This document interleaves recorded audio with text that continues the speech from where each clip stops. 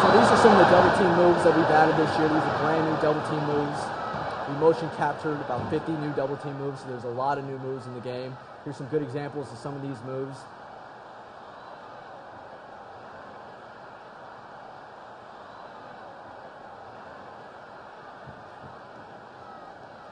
These are the new animations that we're talking when we say we capture over 500 animations in the game.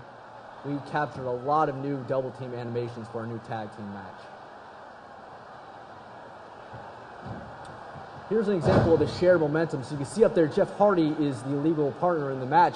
There's only one momentum gauge up there. As you see, when they tag in back and forth, they'll switch momentum gauge, but they're sharing the same meter. So you got to work as a team. It encourages more frequent tags. It encourages you to really work as a team so that you can pull off your double team finisher. Now here's the pull down maneuver. These are, these are new actions that the illegal partner can do. Here he can grab a hold of his opponent and uh, his partner can go ahead and wail on him. So the illegal partner's got something to do on the ringside there. He's not just sitting there waiting for the tag. He's able to participate in the match.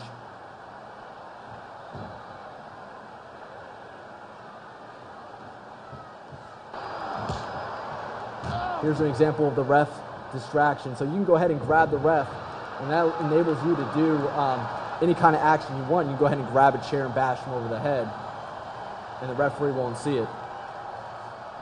This is going to add that drama that we were talking about. You see Matt Hardy is rallying the crowd there. He's able to clap, get the crowd hyped up, boost up his momentum that way.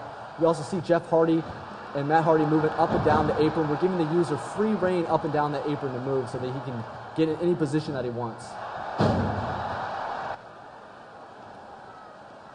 There's the forced tag I was talking about. So if you're sick of seeing your partner take all the glory or hog up all the time in the ring, you go ahead and say, hey, you know what? I'm going to hop in now and not wait for his tag.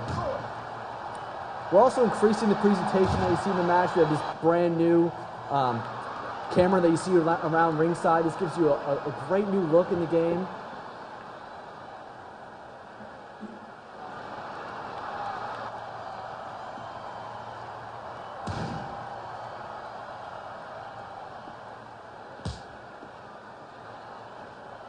And then here's the hot tag feature. This is the, the drama that we're looking to add in the match.